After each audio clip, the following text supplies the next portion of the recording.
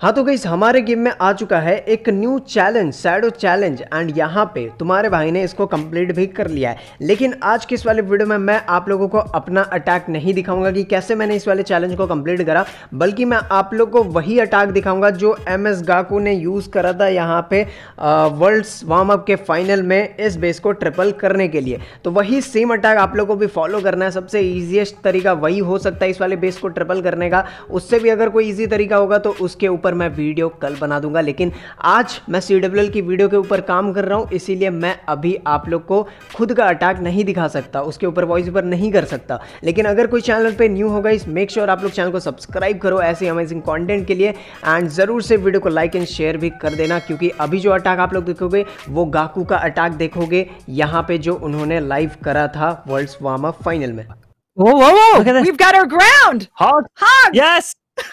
what? No way! We got ourselves a queen to charge hog attack.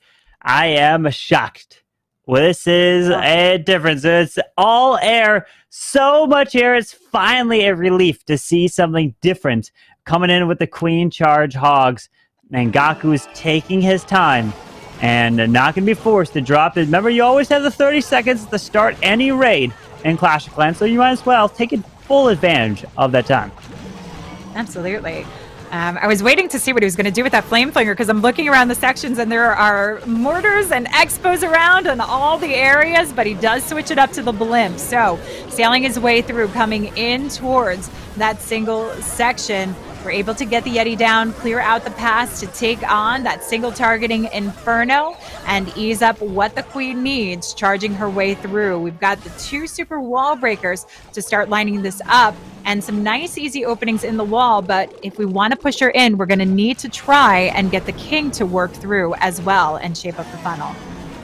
Yeah, the king is coming down here. He's going to make his way to the right near the arch tower. He does have an additional super wall breaker, which can break open the wall next to the storage.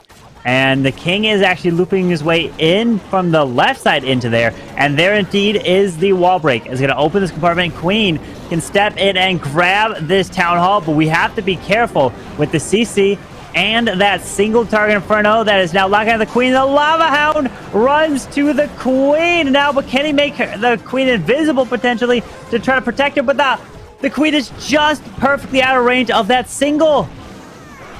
Perfect position, that hug helping to ensure that she stayed back far enough and she'll be able to advance on, take on that town hall, take on the defending AQ, and still has those freezes to try and hold off the single, but the ability also to carry it through. So while this is going on, drops that rage, keeps the hogs moving along. Early Warden the ability to carry these hogs through.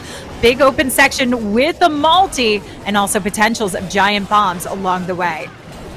Yes, look at that, the Hogs. But all the giant bombs were next to the Eagle Artillery the top side. A lot of the Hogs have been just getting hit. The Royal Champion is coming into the left. The Queen needs to stay alive. He's only got 54 seconds. There's a Rage onto his RC and to the Queen. The Hogs are gone. So it's a matter of the Royal Champion going to have to clutch up the rest of this base with the Queen's help.